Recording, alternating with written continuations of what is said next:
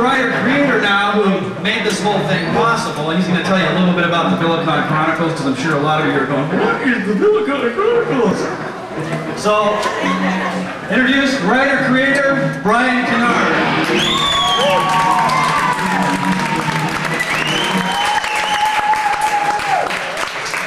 I want to welcome everybody out tonight. Um, this is like, like Roy was saying, this has been like four years in the making. What is the Villikon Chronicles? Well, the Villikon Chronicles is going to be the next science fiction epic. Um, it will take the place of Star Wars, Battlestar Galactica, you name it. Um, come on, let me hear it. A lot of people, a lot of people make this happen. It is based on an award-winning screenplay. Um, I want to say uh, a big thanks to Roy Young. Roy Young visually brought this.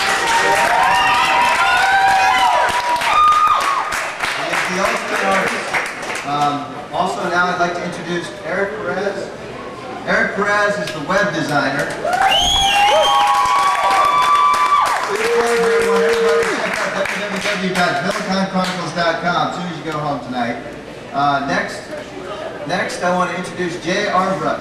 He is the graphic design artist. He's the person who puts together, uh, he basically merged his text with art and created the book. So uh, I hope that everybody enjoys the book. What is it about? Well, you need to pick up a copy and read it. It's fantastic. Now to kick off the show, we have two bands playing tonight. We have Jara, which is behind me, and we have Spiral Jupiter, which is going to be on there.